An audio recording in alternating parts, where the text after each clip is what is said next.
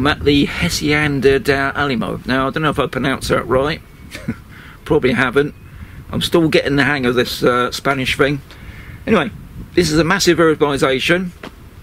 It's sort of in between Mazarrón and Cartagena.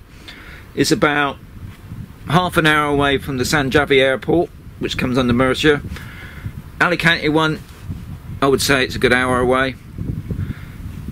Beach, probably about half hour away. Um, obviously, this was built during the boom time when they went mad and built houses everywhere. You will see blank areas. The banks took over a lot of it. Over that way, there's one complex called the Oasis. Uh, the bank, I believe, selling it off not a bad price. There's one, the next complex next to it is called the Spanish Village. Another bit that's sort of starting to fill up with people. Um, but you need to come out and have a good look folks. You need to spend about a good week here. Mainly all these places around here were built because of the Paramount place which is just was going to be down the road. Well that ain't gonna happen now.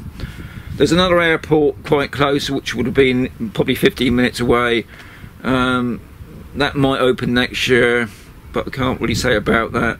But yeah you if you're interested in Spain because the weather is fantastic and it's hot but it, like I said before in my other videos in the winter it does get cold. So put that into thinking about when you're looking at a property or about heating.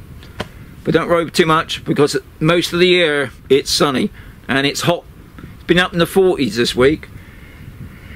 So come over have a look if you if you are thinking of coming down in this area you've seen hopefully you've seen some of my videos that give you some idea. There's lots to see.